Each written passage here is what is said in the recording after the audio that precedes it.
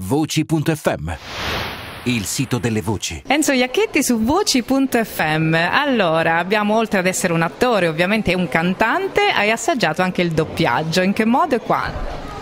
Beh, intanto ho doppiato quei pochi film che ho fatto che non sono neanche mai usciti, è inutile citarli.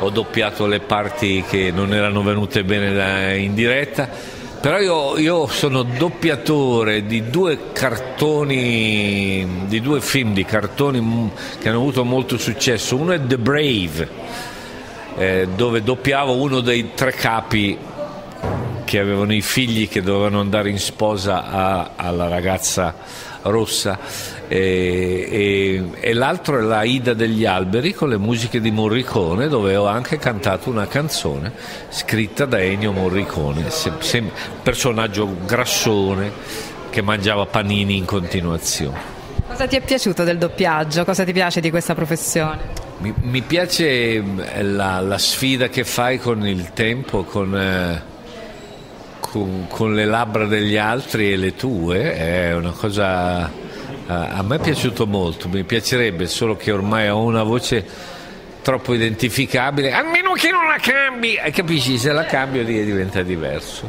Senti a proposito di voce come la usi in modo diverso? Quando sei a teatro canti quando hai doppiato quando fai striscia ad esempio in tv? No striscia è la mia a teatro è la mia quando canto è chiaro che spingo faccio i piani i forti ho studiato musica, quindi sono molto preparato, mi vanto di esserlo.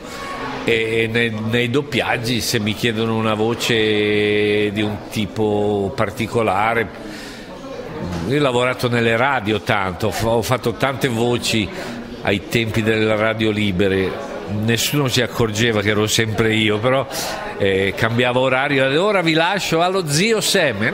Eh, buongiorno ragazzi! Eh? E faccio tutte queste cose qua e insomma me la cavo, sono un buon attore. E la curi in qualche modo, no? Lasci alla natura? Sì, sì, sì, sì ma, ma, anche all'intuizione, ecco, non solo alla natura. Però la voce c'è, c'è, nonostante l'età. A voci.fm dico grazie di esistere da Enzo Iacchetti. Chi lavora con la voce è su voci.fm.